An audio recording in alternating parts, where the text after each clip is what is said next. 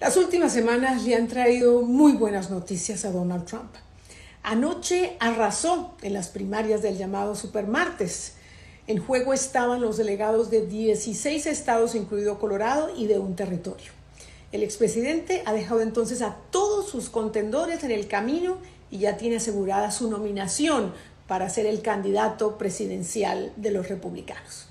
Y hace apenas unos días, la Corte Suprema de Justicia de Estados Unidos le daba dos grandes victorias. La justicia de Colorado había concluido que el expresidente incurrió en el delito de insurrección, el único cargo que le impide a un ciudadano aspirar a la Casa Blanca de acuerdo a la enmienda constitucional 14. Pero la Corte Suprema de este país determinó que los estados no tienen la potestad de remover candidatos de las contiendas presidenciales y esto sentó un precedente a nivel federal. Así que Trump tiene a partir de ahora el camino despejado para seguir en la contienda rumbo a la Casa Blanca. La otra buena noticia que le dio la Corte Suprema de este país fue que el máximo tribunal aceptó el caso para iniciar un juicio sobre la inmunidad presidencial que pide Trump, buscando así evadir algunos de los procesos criminales que enfrenta. Bueno, ¿por qué? Porque intentó revertir el resultado de las elecciones presidenciales que perdió frente a Joe Biden. Esto le permite a Trump demorar el avance de los casos criminales que enfrenta, con 91 cargos en su contra, y de esta manera ganar tiempo para llegar a las elecciones presidenciales de noviembre sin tener que sentarse en el banquillo de los acusados. Me explico.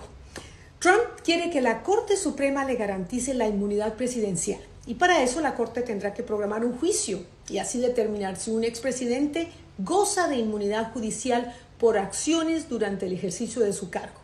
Hasta ahora ningún presidente, excepto Trump, ha sido acusado de ningún acto criminal.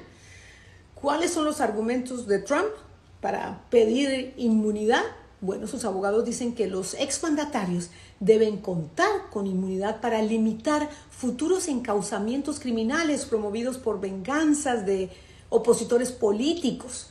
Dicen que si no tienen inmunidad quedan paralizados, maniatados y su poder queda limitado para tomar decisiones mientras ostentan el poder. Y ya hay precedentes de la Corte Suprema en el pasado que ha decidido que los expresidentes sí cuentan con inmunidad, pero para responsabilidades civiles por acciones durante sus mandatos. ¿Trump tiene o no tiene inmunidad? ¿Le darán o no le darán la razón?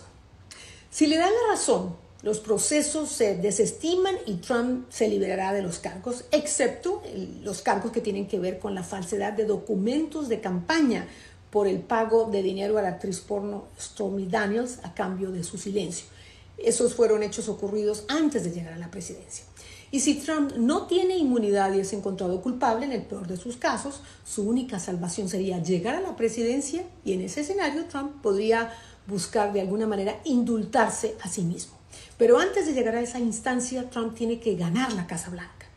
Y todavía es muy pronto vaticinar si permanecerá imbatible como lo ha logrado hasta ahora en las elecciones primarias.